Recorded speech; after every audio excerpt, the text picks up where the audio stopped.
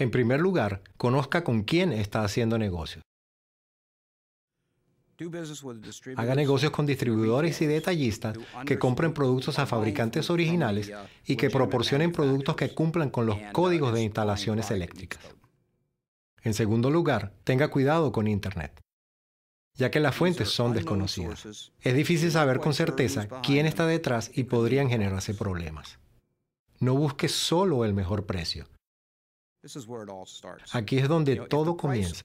Si el precio parece demasiado bueno para ser cierto, probablemente lo sea.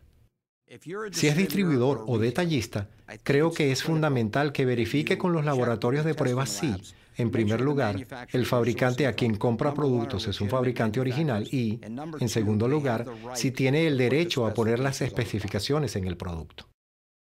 Una de las responsabilidades de los electricistas es conocer las marcas de certificación y garantizar que el producto que instalan tiene esas marcas. Si no posee tales marcas, deben informarlo a quien corresponda. Otra de las cosas que los electricistas y los instaladores pueden hacer es observar el empaque.